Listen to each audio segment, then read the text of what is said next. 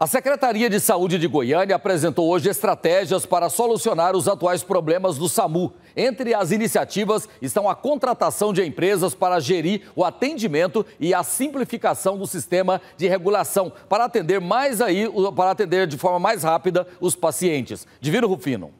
A Prefeitura de Goiânia propõe a modernização do SAMU por meio da contratação de empresas para gerir o atendimento, a frota e as equipes médicas. Os gargalos do serviço na capital são muitos. A quantidade de ambulâncias quebradas assusta 15. Apenas sete estão rodando de forma efetiva. Nós temos muitos problemas com a manutenção das ambulâncias. Então, as ambulâncias vão ser locadas. Nós estamos alugando ambulâncias com, com necessidade, com obrigatoriedade de substituição, se caso alguma delas quebre. Além disso, a Secretaria de Saúde pretende simplificar o sistema de regulação para atender os pacientes de forma mais rápida. A regulação vai ser feita no SAMU, a regulação da vaga. Hoje, o paciente é levado para a nossa unidade, a, uni, a interna na, na sala vermelha da nossa unidade.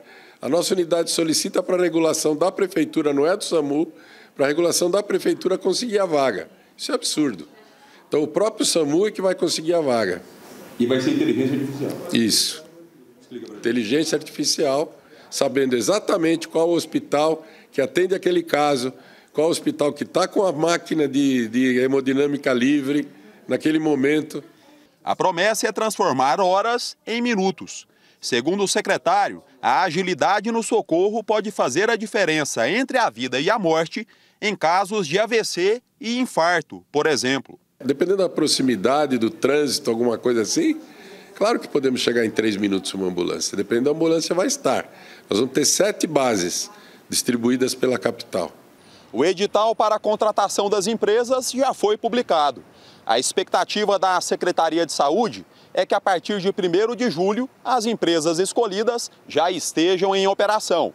Segundo o secretário Wilson Polara, as empresas terão metas claras para cumprir, inclusive de tempo de atendimento e estarão sujeitas a multas em caso de descumprimento.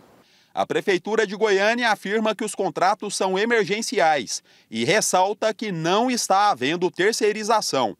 Ainda segundo a Prefeitura, o novo SAMU vai custar 4 milhões de reais por mês. Hoje o gasto mensal é de 7 milhões.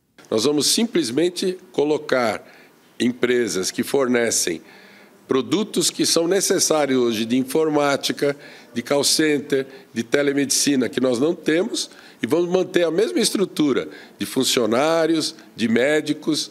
Por quê? Porque nós não estamos terceirizando o SAMU de jeito nenhum.